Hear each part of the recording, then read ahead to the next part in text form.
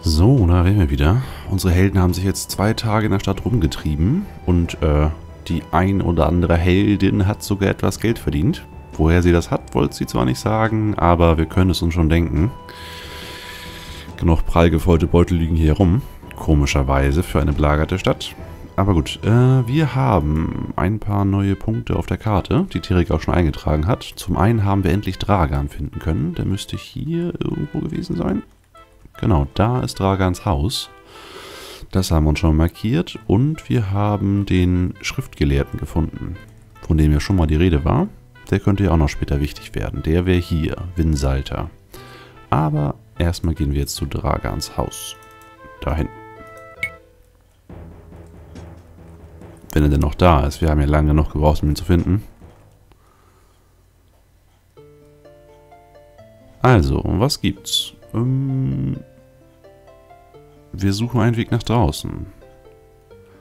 Der Reisende hat nicht gerade alle Annehmlichkeiten des Lebens auf seiner Seite, oder? Ich wüsste so einiges, was euch weiterhelfen könnte. Aber da müsstet ihr mir schon eine kleine Gefälligkeit erweisen. ja, das war abzusehen. Äh, ja. Bringt mir den Vensalter hin hierher. Er muss mir etwas übersetzen. Der Alte wohnt in Bunte Flucht, direkt am Ufer des Feld. Ja, den haben wir gefunden. Sehr schön. Das scheint ja nicht weiter schwierig zu sein.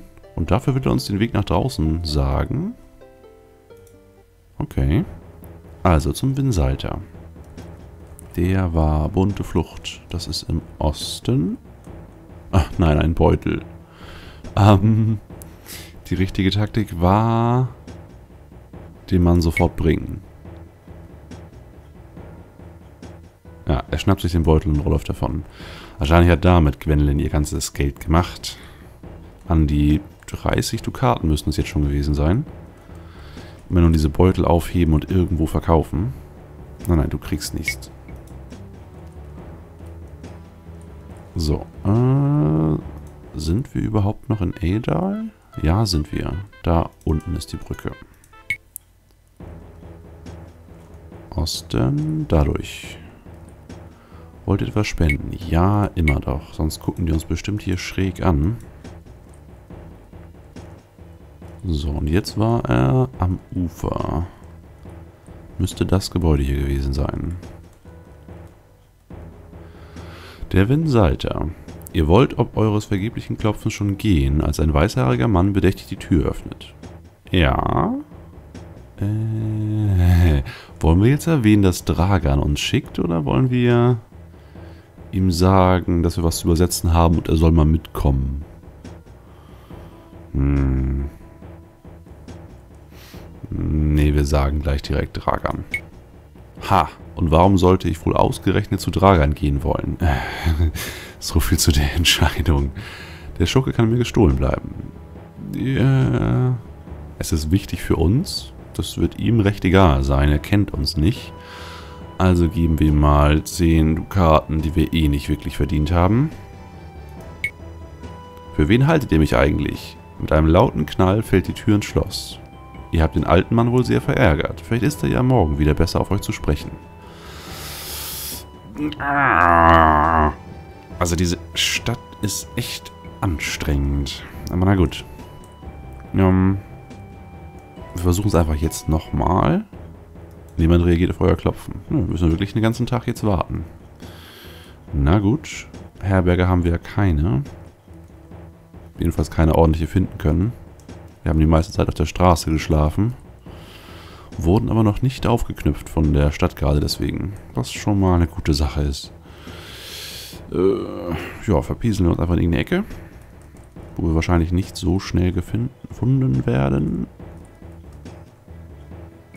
Hey, ihr da. Wenn ihr schon mein Bein nicht habt, könnt ihr doch wenigstens ein paar Silberstücke rausrücken, findet ihr nicht? Wollt ihr dem Krüppel etwas geben? Ja, na gut. Mögen die Götter es euch lohnen, edle Reisende. So, wir verkriechen uns hier hinter den Brunnen und stellen Wachen auf. Quenlin, Gerugon, Tirek. Schlafen, ja. 22 Stunden. Also wir werden nicht die ganze Zeit schlafen, sondern auch äh, uns in der Gegend rumdrücken natürlich. Und so regenerieren wir auch ein wenig Lebenspunkte und Astralenergie. Denn unsere Gruppe war schon fast am Verhungern. Ist halt alles recht knapp hier. So, und jetzt zurück zum Vinsalter. Dir droht großes Unheil, ich fühle es genau, aber ich kann dich davor beschützen. Letztes Mal haben wir ja Nein gesagt, aber ein Vögel hat uns gezwischert, dass wir vielleicht doch welche davon kaufen sollten. Also machen wir das mal. Es gelingt euch noch, die Frau auf 8 Dukaten runterzuhandeln. Gwendolins Magieresistenz hat sich auf 18 verändert. Das klingt doch schon mal sehr gut. Ein blaues Amulett. Jetzt geben wir mal Gerugon. Ja, mal eben 5 Punkte Magieresistenz dazu. Die 8 Dukaten haben sich auf jeden Fall gelohnt. So, und jetzt wieder zum Winsalter. Wer ist unser bester, bester Redner? Ich denke, das ist Gwendolyn. Bekehren, betören, feilschen, Gassenwissen, Lügen, Menschenkenntnis schätzen. Wahrscheinlich bekehren oder betören. Überzeugen gibt es ja nicht als Talent, jedenfalls nicht hier im Spiel. Hm. Na gut. Im Notfall müssen wir in den Zartempel gehen und da ein wenig beten. Aber drücken wir mal die Daumen. Hm, oder wir nehmen erstmal die zweite Option. Könnt ihr uns ein Schriftstück übersetzen? Nein, er weiß ja schon, dass Dragan uns schickt. Es ist wichtig für uns. Und wieso ist das wichtig für euch, wenn ich mal so fragen darf? Das geht euch gar nichts an. Ja, genau, mit einer patzigen Antwort kommt man immer weiter. Äh, nein, wir erklären natürlich die missliche Lage, in der wir sind. Also gut, euch zuliebe komme ich mit, aber dass Dragan gleich klar ist, dass ich ihm keine Gefälligkeiten erweisen werde. Oh, das ist doch sehr sympathisch. Dass er uns einfach so hilft, quasi Fremden. Hätte ich jetzt so nicht gedacht. Aber wenn er schon 10 Dukaten ausschlägt, dann muss das schon recht äh, korrekter Mensch sein. Gerade in solchen Zeiten. Aber gut, wir gehen wieder zurück zur Westmauer. Hier so rum. Und dann zu Dragans Hütte. Auch wenn ich mir wahrscheinlich schon wieder tierisch verlaufen habe. Mal gucken wir mal. Wie nah ran habe ich es geschafft? Ach doch, ziemlich.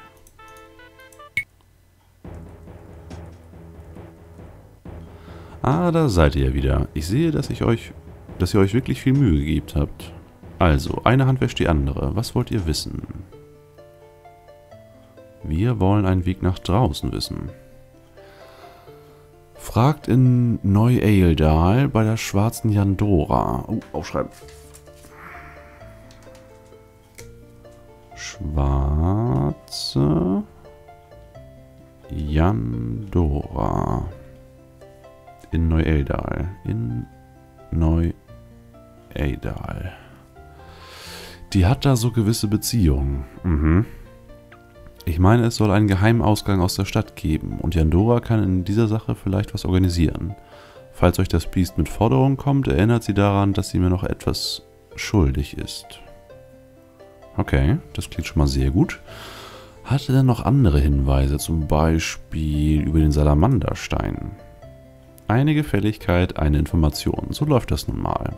Aber wenn ihr mir noch einmal behilflich sein wollt, kann ich sicher in dieser Sache etwas für euch herausfinden. Über den Salamanderstein, das klingt doch sehr vielversprechend. Und äh, der letzte Auftrag war ja nicht so wirklich schlimm. Also sagen wir einfach mal ja. Im Schauhaus neben dem Zartempel liegt eine Brosche von mir, ein Erbstück, das mir die Stadt sozusagen gestohlen hat. Die Brosche hat die Form einer Esche, Brosche. Esche. Schauhaus. Äh, bringt mir das gute Stück, dann werden wir weitersehen. Das klingt nicht sehr einfach. Die wird da einfach nicht so rumliegen, unbewacht und alles. Hm, okay. Also das Schauhaus haben die Helden auf ihren Pfaden durch die Stadt gesehen.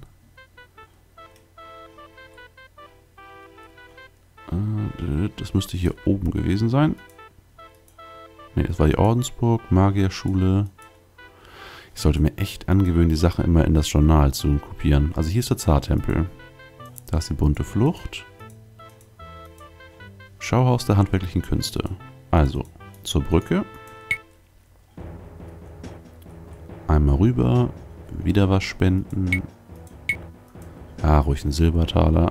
Da ist der Zartempel und hier müsste das Schauhaus sein.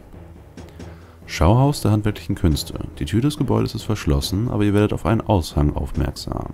Das Schauhaus bleibt bis auf weiteres geschlossen. Wollt ihr in das Gebäude einsteigen oder das Unternehmen abbrechen? Ähm, mitten am Tag sollten wir nicht einbrechen. Wir suchen uns erstmal eine ruhige Seitengasse. Hier zum Beispiel stellen Wachen auf, damit wir nicht von irgendwelchen Bettlern oder Gaunern ausgeraubt werden und schlafen mal 13 Stunden. So. Wir wollen da einbrechen. Können wir denn vielleicht ein Silenzium sprechen? Wer konnte den am besten? Das sollten wir erst gucken. Zauberwerte. Na, was war das? Spurlos, trittlos? Nein. Veränderung vielleicht. Mehr Zauber. Veränderung, Silenzium. 10 Punkte. Ja, sehr schön. Zaubern. Talana. Veränderung. Silent. Silentite. Oh, minus 5 war das. Ich habe auch mit Talana gezaubert, nicht mit Jallen. Aber die Gruppe schleicht jetzt wie auf Katzenpfoten. Äh, das war ein sehr guter Würfelwurf. Also, der Leit gestärkt. Brechen wir jetzt ein. In das Gebäude einsteigen. Ja. Geschickt und vor allem lautlos auf den Quendel in die Fenster legen. Sehr schön. Das Gebäude besteht fast nur aus einem einzelnen Raum. Darin stehen mehrere leere Sockel, die offensichtlich zur Ausstellung von Kunstwerken dienen sollen. Wollt ihr euch weiter umsehen oder abhauen? Wir wollen uns umsehen. In einem kleinen Raum neben der Halle führt eine Holztreppe nach oben. Ansonsten entdeckt ihr nichts Bemerkenswertes. Wollt ihr euch weiter umsehen oder lieber abhauen? die Option bringt uns nicht wirklich etwas. Wir müssen hier die Brosche finden. Wir gehen nach oben. Es gibt mehrere kleine Räume, die durchsuchen wir. Im größten der Räume stehen mehrere Truhen, in denen die ehemaligen Ausstellungsstücke verstaut sind. Darunter befindet sich auch eine Brosche mit dem Bild einer Esche. Wollt ihr die Brosche nehmen oder den restlichen Krempel auch prüfen? Hm. Hm. Wir sollten nur die Brosche nehmen. Wir müssen hier möglichst schnell raus. Ihr nehmt die Brosche und seht zu, dass ihr wegkommt. Sehr gut. Und so schnell wie möglich vom Tatort weg, egal wohin. So, wir sind jetzt in bunte Flucht. Also müssen wir nach Westen rüber. Oh, Sackgasse. So, schnell über die Brücke. Wir lassen auch, weil wir uns schuldig fühlen, ganzen Silbertaler da und laufen weiter Richtung Dragan. Es ist zwar ein wenig spät, aber da er doch ein recht äh, schattenhafter Geselle ist, wird es ihn bestimmt nicht stören, wenn wir auch um diese Uhrzeit dann noch antanzen. Vor allem, weil wir seine Beute dabei haben. Und ja, ich glaube, Beute ist das richtige Wort. So, hier war das, oder? Ah, da seid ihr ja wieder. Ich sehe, dass ihr euch wirklich viel Mühe gegeben habt. Also, eine Hand wäscht die andere. Was wollt ihr wissen? Wir hätten gerne Informationen über den Salamanderstein. Habe von dieser Sache schon gehört. Wo der Namenlose seine Finger im Spiel hat, halte ich mich jedenfalls lieber raus. Ich will mir auch keinenfalls den Mund verbrennen, aber ihr solltet euch vielleicht mal im Orkentod umhören. Oh, aufschreiben. Orkentod umhören. Hm, dort ist die Clique von Gavron und Siebenquell. Gavron und Siebenquell. Des Öfteren zu finden. Und es sollte mich wundern, wenn die nicht mehr sagen können. Oh, das schreiben wir mal auf. Ich hoffe, das Draufdrücken hat das jetzt aufgeschrieben. Weiterreden. Okay, also er ist ja wirklich äh, super praktisch. Wir haben jetzt schon einen Weg nach draußen, jedenfalls einen Ansatz dazu. Und zu dem Salamanderstein. Was könnten wir denn noch fragen? Waffen wären ganz praktisch. Oder irgendetwas über die Egelbronn zum Beispiel. Von der haben wir noch gar nichts gehört. Ja, fragen wir nach der Egelbronn. Vendaria kommt mir bei ihren Geschäften öfter in die Quere, aber das ist ja wohl nicht euer Problem. Siebenquell? Ha, die liebliche Elfennatur Ailian. Der hat wohl ein bisschen die Orientierung verloren, will meinen. Dass es nicht mehr so ganz klar ist, zu welchem Ufer es ihn zieht. Okay, nicht unbedingt wichtig die Information. Ingramosch. Kenne ich nicht. Bis zum nächsten Mal. Hm. Habt ihr immer noch nicht, nicht genug? Ich schon. Also er will uns erstmal wohl nichts mehr sagen, aber er hat uns ja schon mehr als genug geholfen. Da kann man echt nicht meckern. Das heißt, wir könnten uns jetzt im Orkentod umhören nach dem Salamanderstein oder die schwarze Yandara, Yandora aufsuchen. Ich bin dafür, wir gehen erstmal zu dem Orkentod. Denn äh, was nützt es uns, wenn wir einen Weg raus haben und dann eventuell den Salamanderstein doch nicht bekommen? Oder die Hinweise dazu nicht mehr, weil wir nicht mehr in die Stadt zurückkommen. Gut, also Orkentod. Wo ist der Orkentod? Es gibt ja doch ein paar mehr Tavernen hier. Klonwalles. Weißes Haus, bunte Flucht. Oh, ja, definitiv viele. Kleiner Fürst, Orkentod. Da würden wir gerne hin. Hoffentlich ist es noch nicht zu spät. So, wir setzen uns an die Theke. Wir hätten gerne etwas dünnen Wein. Ja, und wir würden gerne reden. Was kann ich für euch tun? Wir suchen sieben Quellen. Sehe ich so aus, als wäre ich ein Elfenfreund. Hm. Okay. Gaffron. Gaffron sehe ich hier nicht. Na gut, dann wollen wir nicht weiter mit dir reden, sondern wir setzen uns an einen Tisch. Oh, vorher könnte Gwende noch ein wenig tanzen. Ne, kann sie nicht. An... Äh, es ist keiner im Orkentod. Wir sind alleine hier.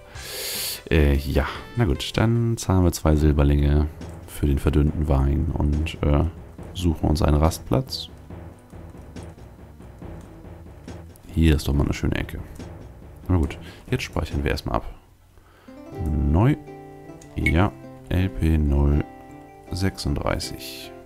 Und wir sehen uns gleich wieder.